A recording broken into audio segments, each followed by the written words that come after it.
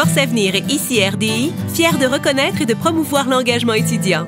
Chez Ditch Lab, on développe un vaporisateur de nicotine pour lutter contre la dépendance au tabac. C'est un peu l'équivalent d'une cigarette électronique, mais médicale, qui permet de diminuer graduellement la quantité de nicotine aux fumeurs ou aux patients, jour après jour, jusqu'à un sevrage complet. J'avais vraiment envie de régler un problème d'envergure, le fléau de la cigarette électronique chez les jeunes.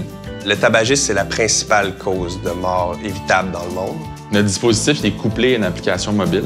Dans l'application mobile, on a un questionnaire d'onboarding. C'est ce questionnaire-là qui détermine euh, la courbe de sevrage. On a notre prototype euh, produit alpha. On s'en va faire des tests en laboratoire au CRIC ici à Montréal. On prépare aussi nos tests cliniques, donc sur des patients. En vue d'avoir une homologation de Santé Canada comme dispositif médical. Il y a un milliard de fumeurs dans le monde. Si on réussit à aider toutes ces personnes-là, on, aurait eu une belle carrière et une belle entreprise.